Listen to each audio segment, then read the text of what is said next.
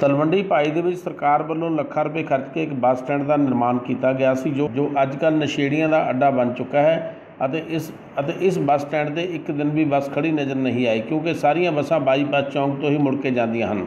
ਜਿਸ ਕਰਕੇ ਲੁਧਿਆਣਾ, ਫਿਰੋਜ਼ਪੁਰ ਜਾਣ ਵਾਲੇ ਮੁਸਾਫਰਾਂ ਨੂੰ ਕਾਫੀ ਮੁਸ਼ਕਲ ਦਾ ਸਾਹਮਣਾ ਕਰਨਾ ਪੈਂਦਾ ਹੈ। ਖਾਸ ਕਰਕੇ ਬਜ਼ੁਰਗਾਂ ਅਤੇ ਔਰਤਾਂ ਨੂੰ, ਕਿਉਂਕਿ ਜਿਨ੍ਹਾਂ ਮੁਸਾਫਰਾਂ ਨੇ ਸ਼ਹਿਰ ਵਿੱਚ ਆਉਣਾ ਹੁੰਦਾ ਉਹਨਾਂ ਨੂੰ ਜ਼ਿਆਦਾ ਆਟੋ ਦਾ ਡਬਲ ਕਿਰਾਇਆ ਦੇ ਕੇ ਜਾਣਾ ਪੈਂਦਾ ਹੈ ਜਾਂ ਫਿਰ ਤਪਦੀ ਧੁੱਪ ਦੇ ਵਿੱਚ ਬਾਈਪਾਸ ਤੋਂ 1 ਕਿਲੋਮੀਟਰ ਪੈ- ਪੈਦਲ ਚੱਲ ਕੇ ਆਉਣਾ ਪੈਂਦਾ ਹੈ। ਲੋਕਾਂ ਦੇ ਵਿੱਚ ਇਸ ਮੰਗ ਨੂੰ ਲੈ ਕੇ ਹਾਹਾਕਾਰ ਮਚੀ ਹੋਈ ਹੈ ਪਰ ਕਦੇ ਵੀ ਪ੍ਰਸ਼ਾਸਨ ਨੇ ਇਸ ਨੂੰ ਗੰਭੀਰਤਾ ਦੇ ਨਾਲ ਨਹੀਂ ਲਿਆ। ਸਤਿ ਸ਼੍ਰੀ ਅਕਾਲ ਦੋਸਤੋ। ਬੱਸ ਸਟੈਂਡ ਇੱਕ ਨਾਂ ਦਾ ਬੱਸ ਸਟੈਂਡ ਹੈ ਤਲਵੰਡੀ ਭਾਈ ਦਾ। ਠੀਕ ਹੈ ਮੈਂ ਤਾਂ ਆਪਦੀ ਸੁਰਤ ਦੇ ਵਿੱਚ ਇੱਥੇ ਬੱਸਾਂ ਨਹੀਂ ਆਉਂਦੀਆਂ ਦੇਖੀਆਂ। ਜੇ ਆਉਂਦੀਆਂ ਤਾਂ ਕੁਝ ਬੱਸਾਂ ਸਵੇਰ ਦੇ ਟਾਈਮ। ਠੀਕ ਹੈ ਉਹ ਵੀ ਚੰਦ ਬੱਸਾਂ ਸਵੇਰ ਦੇ ਟਾਈਮ ਇੱਥੇ ਪਹੁੰਚਦੀਆਂ। ਨਹੀਂ ਤਾਂ ਸਾਰੀਆਂ ਬੱਸਾਂ ਜਿਹੜੀਆਂ ਬਾਹਰੋਂ ਚੌਂਕ ਚੋਂ ਸਿੱਧੀਆਂ ਮੋਗੇ ਨੂੰ ਜਾਂ ਫਿਰੋਜ਼ਪੁਰ ਨੂੰ ਜਾਂ ਫਰੀਦਕੋਟ ਨੂੰ ਚਲੇ ਠੀਕ ਹੈ ਬੜੀ ਵੱਡੀ ਸਮੱਸਿਆ ਸ਼ਹਿਰ ਵਾਸਤੇ। ਕਈ ਵਾਰੀ ਅੱਗੇ ਖਬਰਾਂ ਵੀ ਲੱਗੀਆਂ।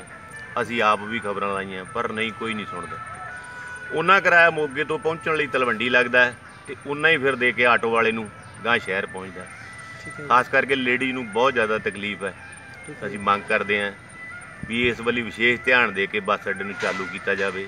ਠੀਕ ਹੈ ਜੀ। ਔਰ ਦੂਸਰੀ ਗੱਲ ਮੈਂ ਨਗਰ ਕੌਂਸਲ ਨੂੰ ਇਹ ਕਹਿਣਾ ਚਾਹੁੰਦਾ ਤਲਵੰਡੀ ਭਾਈ ਨੂੰ ਵੀ ਇੱਥੇ ਜਿਹੜੀਆਂ ਬੱਸ ਸਟੈਂਡ ਦੀਆਂ ਬਣਦੀਆਂ ਸਹੂਲਤਾਂ ਵੀ ਚਾਲੂ ਕਰੋ। ਠੀਕ ਹੈ ਜੀ। ਕੋਈ ਸਹੂਲਤ ਨਹੀਂ ਹੈਗੀ।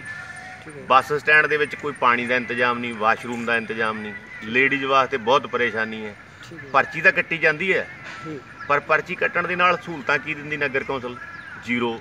ਠੀਕ ਹੈ ਅਸੀਂ ਕਹਿੰਦੇ ਜੇ ਸਹੂਲਤਾਂ ਹੋਣ ਫਿਰ ਅਸੀਂ ਉਹਨਾਂ ਨੂੰ ਵੀ ਕਸੂਰਵਾਰ ਠਹਿਰਾਈਏ। ਕੱਲੀਆਂ ਬੱਸਾਂ ਵਾਲੇ ਕਸੂਰਵਾਰ ਨਹੀਂ ਹੈਗੇ। ਅਸੀਂ ਕਹਿੰਦੇ ਕਿਤੇ ਨਾ ਕਿਤੇ ਨਗਰ ਕੌਂਸਲ ਦਾ ਵੀ ਫਰਜ਼ ਬਣਦਾ ਵੀ ਉਹ ਵੀ ਇਸ ਪਾਸੇ ਧਿਆਨ ਦੇਵੇ। ਸਤਿ ਸ਼੍ਰੀ ਅਕਾਲ ਤਲਵੰਡੀ ਭਾਈ ਤੋਂ ਜਾਟ ਟੀਵੀ ਨਿਊਜ਼ ਦੇ ਲਈ ਪਰਮਜੀਤ ਸਿੰਘ ਪੰਮਾ ਦੀ ਰਿਪੋਰਟ।